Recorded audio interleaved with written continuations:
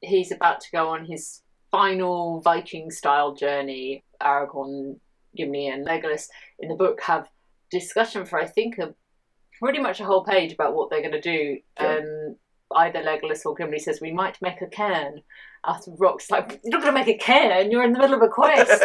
the, the lads are in the possession of the orcs. You've got to get yeah, on just it. get a move on. Yeah. And so someone more sensible says, let's put him in Yeah. a boat and shove him over the waterfall, Yeah. uh, which they do in Yeah. A slightly more respectful way than I've just described it there. He's Yes. arrayed with the spears of his fallen enemies. Mhm. They sing a song. I say they sing a song, Aragorn and Legolas sing a song. Gimli abstains because each verse of the song is about a different. Uh, about the wind coming from a different quarter, and the only wind there would be left for him to sing about is the east wind, and he says, "I will say naught of it because the east wind is a s- symbol of ill omen because that's the direction that Mordor lies." Either way, it's quite a noble exit.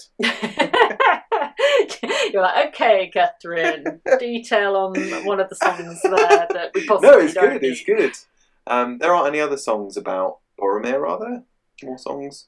I don't think so. I think that's the only song about Boromir. It's a shame. There should be more. So they spend enough time singing about the other characters. You Shall know, you give we- them more. I think the Rob Inglis version, because it's unabridged, must have The song. the song. Shall we have a listen to a bit of it? Let's do it.